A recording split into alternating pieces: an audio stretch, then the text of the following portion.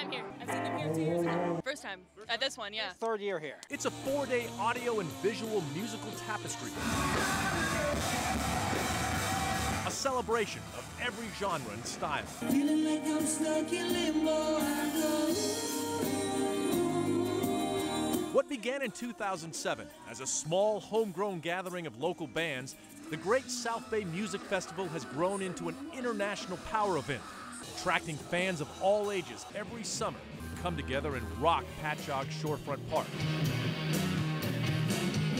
The Great South Bay Music Festival was inspired by the great bands of the 60s and 70s. As the founder, Jim Faith, tells me, it was in those outdoor venues that the musical world was changed forever. So he took that vibe, he packaged it, and he brought it right here to Long Island.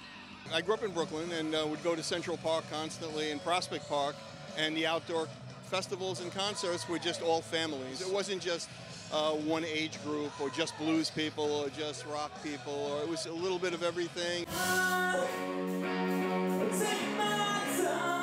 More than 75 bands from all over the world make the annual trek to take one of the festival's two stages, and Long Island is always well represented. You guys are the youngest members to be inducted into Long Island Hall of Music Hall of Fame. Yeah, man, Uh, we got to meet Billy Joel. It was a pretty great night. We were like, oh my god, I think we're a band. Moved in together in Bellmore to make it happen. I drive three hours every day to get to practice, but it's totally worth it all. It's good to see everybody again after a Yeah, long like time. why why are you late? Yeah, I know, right?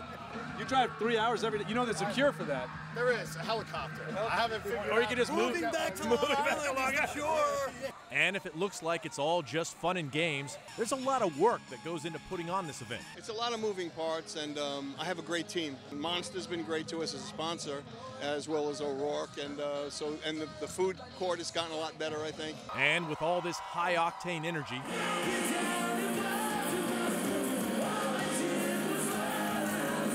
and with generations of fans, the music will keep rolling on.